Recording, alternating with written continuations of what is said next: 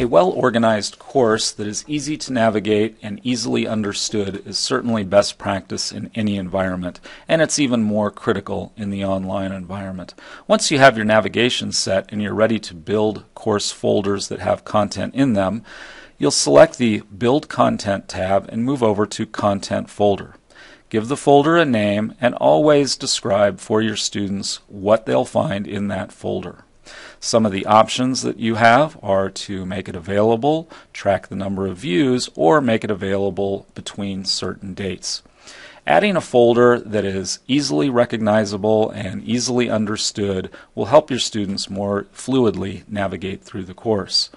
The double chevron to the right of the folder will allow you to copy or delete it or edit the, the name and description, and you can drag and drop the folder anywhere you'd like. And that is the Blackboard 57 second tip of the week.